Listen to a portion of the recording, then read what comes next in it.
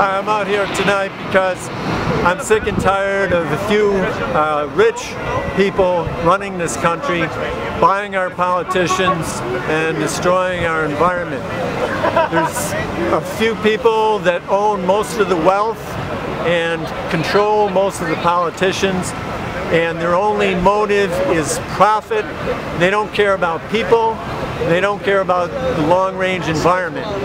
And it's destroying our environment, it's destroying our democracy, and we need to put an end to it. People need to get together and to decide to take back our government away from these few rich uh, fascists and, and reinstall a democracy here in this country uh, establish green energy, uh, have jobs for everyone, uh, education for everyone, and have a real uh, democracy and working society. Thanks.